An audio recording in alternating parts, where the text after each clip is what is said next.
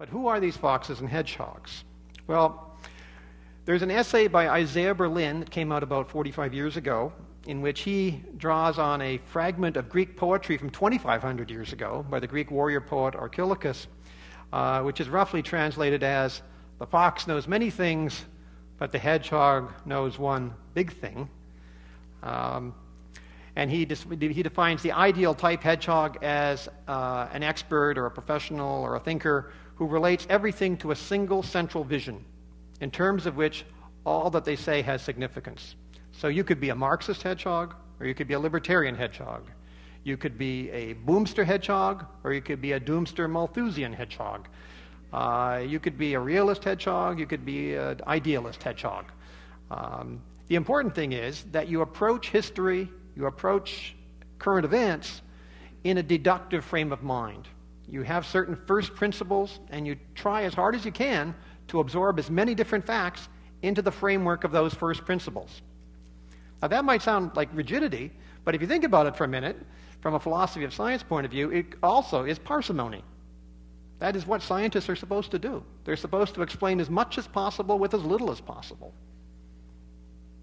So we'll come back to that, that value tension in a moment. Um, the ideal type hedgehogs, Berlin defined this way. He said they pursue many ends, often unrelated and even contradictory.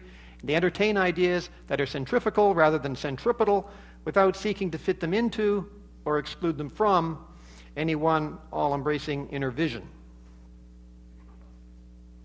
Those are the foxes. So, foxes and hedgehogs.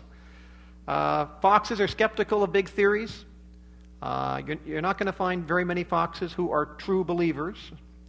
Uh, and interestingly, the foxes who did the best in my forecasting exercises were the least enthusiastic about participating, and they were the most diffident about their ability to forecast.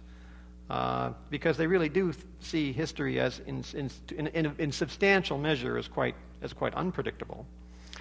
Uh, whereas the hedgehogs were more enthusiastic about it. They, they tended to be more enthusiastic about extending their favorite theories into new domains, and they tend to be more confident in their ability to predict.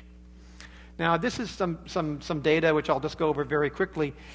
If, if you're on the, per, the perfect diagonal, the straight line here represents perfect calibration. So the, whereas the, uh, the curvy lines represent actual groups of human beings making thousands of predictions. And these are aggregations of that. And the key thing to note here is that one of the lines strays further from the perfect diagonal than all the other lines.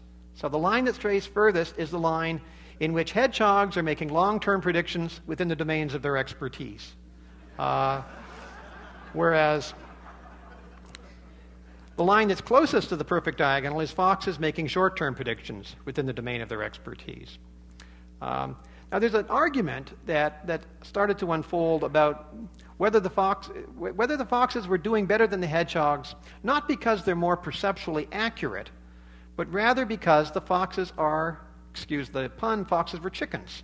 The foxes were un- unwilling to say anything much more than maybe. So the foxes were clinging around the subjective probability point of 0.5. Right? So one way to test that, if that were true, then the foxes should not be as discriminating as the hedgehogs. The hedgehogs should, may, may lose on calibration, but they should win on discrimination.